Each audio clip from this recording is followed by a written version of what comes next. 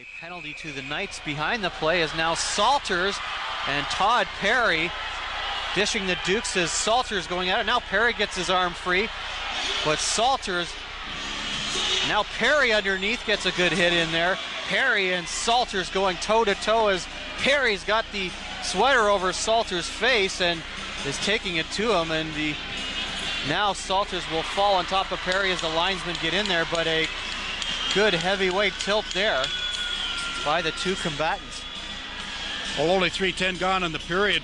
There was an original hit that caused this. We'll see that London may pick up that minor, and uh, we'll wait and see whether these fighting majors are uh, going to be offsetting or not. But the uh, London Knights, for sure, going off for fighting.